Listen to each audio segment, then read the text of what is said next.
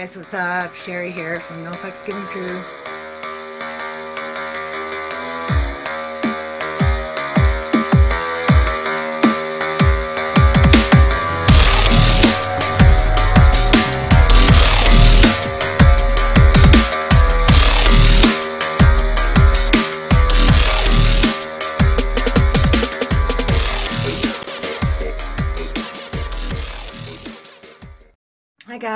Welcome to this week's Twin Flame reading for May the 14th until the 24th.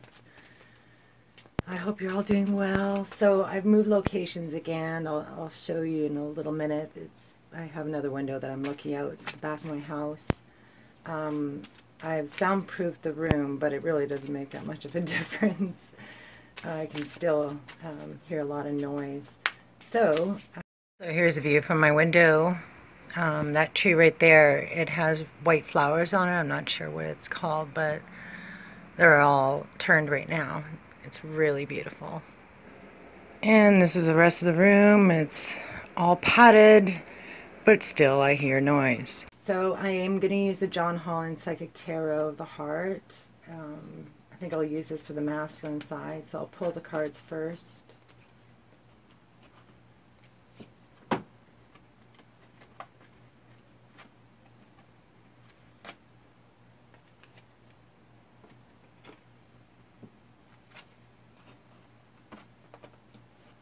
Okay.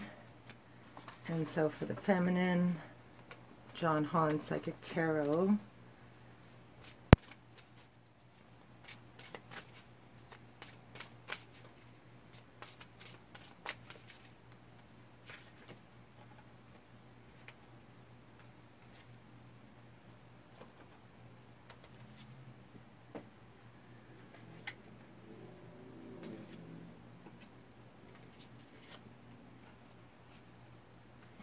Okay, and for the union energy, I think I'll use my deck. Whoa. Um, I'll have to pause that to get those. You'll just have to trust that. I'm not going to mess with the cards. All right. So let me just shuffle that again.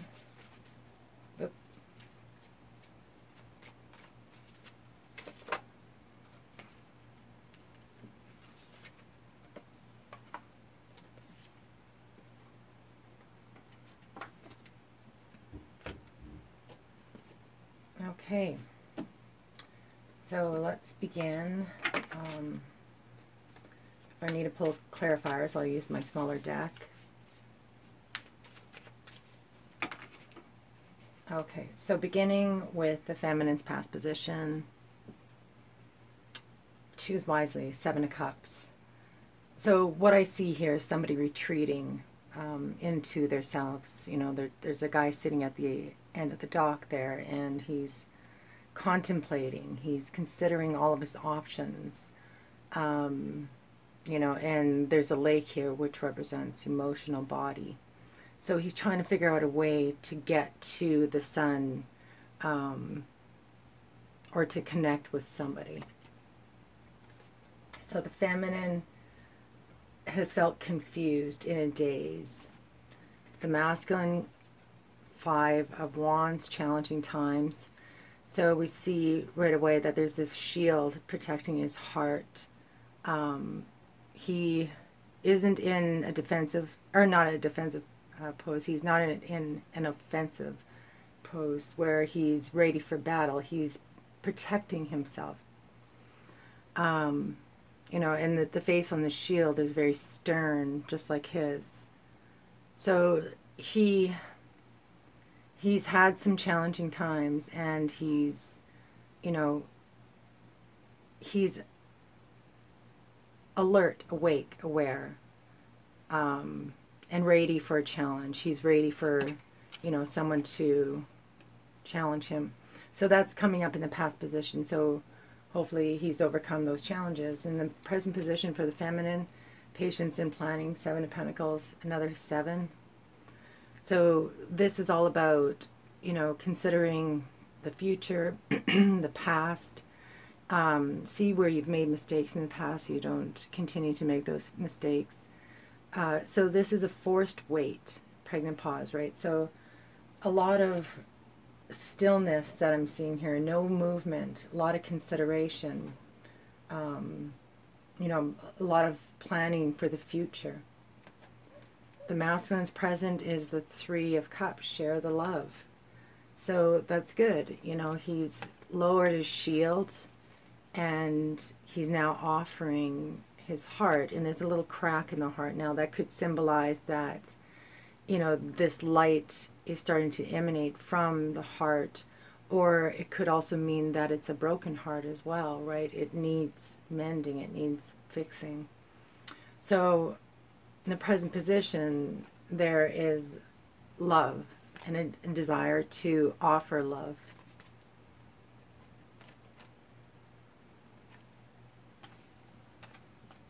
Make sure that you guys can see those. All right. Okay. So the near future for the feminine. Wow. Spiritual union, two cups. So this is meeting your twin flame, you know, your true love, and having a deep soul connection with them um, you know, this is all about love and being able to express your emotions freely. And it also talks about, you know, having that three or sorry, 5D connection as well through the third eye chakra. So they're sharing this cup of love, and love is flowing around them. So, you know, what that's kind of saying to me is that you know, there's a possibility of the masculine reaching out to the feminine on an emotional level, which the feminine then feels in the near future. Near future for the masculine, detach. So this is the justice card. So what I'm seeing, you know, is in the background we have a snow scene. Um, the leaves have fallen from the tree, and this woman is releasing a dove, so detaching herself. Um, so it's a very cold, very somber look. Now, normally the Justice card is all about karmic energy coming back to you. What you put out, you get back. So there is this sense of being closed off in the past, opening up and offering himself, and then letting it go, letting it fly, you know, releasing it to to spirit, and he knows it'll come back to him, you know, it's a, in a good way. Love can, you know, uh, love always wins. Okay, so the let's leave the final come for later. We'll move into the union energy. So, what is the feminine bringing in is shadow. So the moon card is all about your shadow self, your shadow work. So you're asked to look at the image that you're projecting out into the universe. Um, you know, this is the dark side, uh, the things that you're afraid of, and facing those fears straight on. So there is, I'm also seeing a beautiful balance between the dark and the light. They're both holding this scepter. Um, yeah, so the feminine is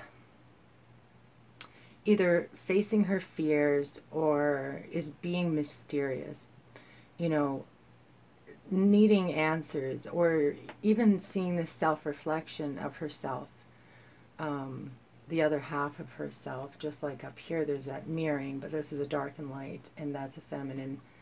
Um, masculine. So let's see what the the um, extended reading says. I'll be pulling three additional cards per position for the extended reading. Um, so what is the masculine bringing in? Wow, throat chakra, communication. So this is what he's bringing into the union is a desire to communicate, to open up, to offer, to be willing to connect where he was closed off in the past. There's definitely this, this sense of opening up.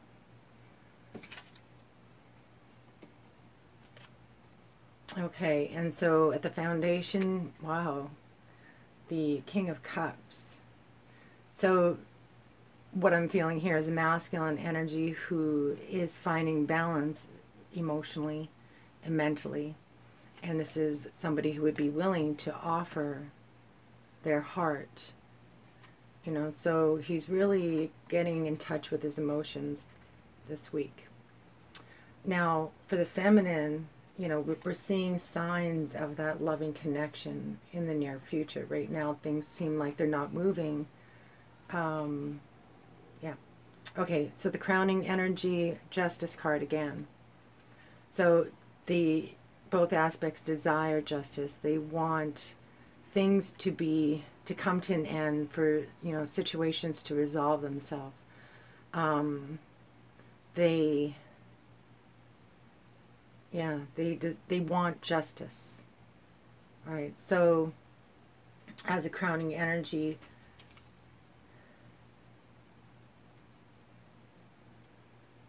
There is this desire to you know, make what was wrong right again. And the masculine returns to that energy in the near future, but with a sense of detachment associated with it, where the feminine, you know, wants to know which way to go. There's a lot of darkness and confusion here. Okay, so what's at the heart? Base chakra. So this is the the lowest chakra. This is all about the 3D reality, whether or not you feel safe in a situation, whether or not your basic needs are being looked after. So in the heart space, there is lack at the lowest level. Um, so there's a lot of fears that are being drawn up. And so they want both aspects desire that karmic energy, that warmness, the connection, that balance of emotions to return um, they feel a void in the heart space. Final outcome for the feminine, Eight of Swords, trapped in fear. So, oops. So this is a mental card.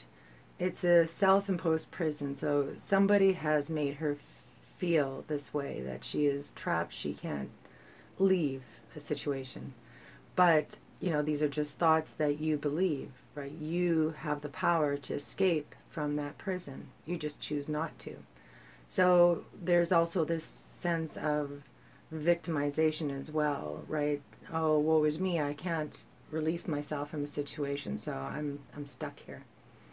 So the mind returns as a final outcome, which is, you know, sad to see after such a beautiful card. That spiritual connection, maybe you were hoping for something to happen, but the masculine detached from it, and now you're back to square one, worrying, you know, in your mind, confused about what the future lie, you know, holds for you. Final outcome for the masculine is reach out, another opening up card. So what I'm seeing here is that there are many levels to a person's um, personality. There are many levels to love. There are many levels to connection, and you know it takes tiny steps to get to to build a relationship, to build a foundation. so, the Three of Pentacles does represent a firm, solid foundation, but the words that are crying out, you know, reach out. So share the love, detach, and reach out. So what I see here is, you know, desire to reach out, not necessarily doing so because the person is just kind of sitting there and they're looking away from the connection. The feminine is basically lost in her mind. Okay, so what is the overall energy? Is the high priest. So this is somebody who's spiritually awakened, who is um, conscious, who is evolved, and who helps others, you know, guides them out of the darkness, but also guides them on their journey um, through spiritual enlightenment, right? So they receive messages from the universe, they translate that message, and then they share that message in the way of spiritual teachings.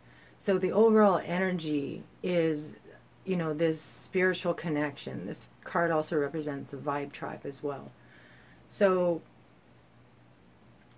you know, I'm feeling a loss, uh, an emptiness, um, a darkness on the feminine side. And the masculine is going from being closed off to open to closed off to open to closed off, you know, just back and forth. But there is this desire to communicate There is a desire for justice. There's a desire to open up emotionally. But none of that can happen until you have resolved your own issues within yourself. And, you know, you need to be that conscious, that consciousness behind all of this gunk and, you know, desires and wants. There can only be you, there can only be consciousness. And there you will find love, and you will find love for yourself. And only then can you, you really truly connect with your, your twin flame on a 5D and 3D level. Okay, so let me pull one card from Miss Mermaids, and this will be the final message from the universe.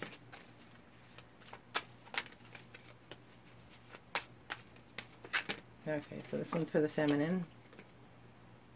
Mermaid with pink lotus. So I think that's all about self-love.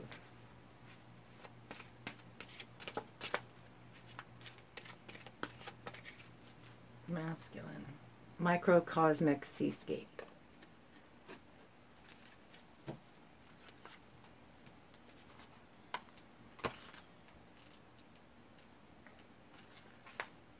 Okay. So it says, Mermaid with Pink Lotus. Close your drowsy, drooping eyes and come to me with, uh, with me to paradise. Leave your cares for just an hour to focus on floating flowers. Let the water soothe your flesh and leave you rested, fit, and fresh. A fair mermaid drifts languidly among the tangle of lily pads in a tranquil lagoon. A single pink lotus blossom adorns her hair. A second floats nearby in a pool. So relaxed is she that her slight movements do little to disrupt the surface of the water. So the meaning is to make effort to relax. Stop what you're doing and take a deep breath. It's time to relax. You're not selfish, and that could be a blessing. Helping your loved ones is important part of who you are, but sometimes it's okay to set aside your worries about others and take some time for yourself. Maybe you're feeling stressed or overwhelmed. Try not to let it wear you down. Instead, try these relaxation techniques to improve your health and well being. Number one, close your eyes and imagine a personal paradise. What do you see, hear, and feel? Let yourself become engulfed in these sensations. Allow your breathing to become slow and even, and notice your energy flow through your body. This will help you feel refreshed and rejuvenated. Take a hint from our mermaid friend and let yourself be soothed by the calming water. A walk near a beach or a lake or rest near a bubbling fountain. Can you hear those birds? Oh, I wonder if they'll sing again. Oh, maybe not. I hope you can pick that up. I'm enjoying this spot. Okay. Um, so walk near a beach or a lake or rest near a bubbling fountain can bring inner tranquility. And the it's like the birds were cued, right? That's so crazy. Number three, are you finding it difficult to relax? A change in environment can be most helpful. There you go, in reducing stress. A short getaway for some pampering at a spa can be just what your body and mind need to chase away the stress. Yeah. So, yeah, I see a lot of thoughts, you know, confused. What do I do about my future? You know, um, I feel stuck. I feel like things aren't going anywhere. And then it's just this perpetual um, state of confusion. And so the universe is telling you it's time to get out of your head. Everything will work out the way it's supposed to. Okay, so number 15. Anytime you try to control a situation or advance on it, you know, try to manipulate it in some way, it becomes tainted. It becomes sour. You know, let it flow to you. Allow it to come to you. Okay, so microcosmic seascape. Storms are brewing o'er the quay. Ships are tossing out at sea, dark and dreary nimbus clouds forms a hard and heavy shroud. Oh, what turmoil rocks the waves, threatening men in early graves. But I can watch without alarm, and know this scene means me no harm. A wide-eyed maiden with ivy-draped hair holds in her arm a glass orb, enclosing a miniature seascape complete with a sailing ship. Although it appears to a storm is rolling in, Our Lady knows she is safely outside of her of the carefully contained scene. So the meaning is out of harm's way. Someday soon you will bear witness to a traumatic event, but do not fear, you're safe. Although upsetting, the upcoming turmoil is removed enough from your person that you will not suffer directly. When the storm arrives, you may feel powerless, but accept that there is nothing that you can do. Some things are outside of your control. You simply have to stand by and watch them transpire. Okay, so that's what I'm seeing here. I'm seeing stand by. You know, here we we feel that detachment, that allowance, letting go, but there is this longing definitely on the masculine side. So don't contain. Allow yourself to open up and express what you truly want to say. Okay. So I hope you enjoyed this. Please, please leave a comment. I love you guys so much. It inspires me, it motivates me. Um, and just knowing that you guys are there supporting me gives me the courage to continue to making these videos. So, um, and yeah, don't forget to subscribe. All right, I love you guys. Cheers.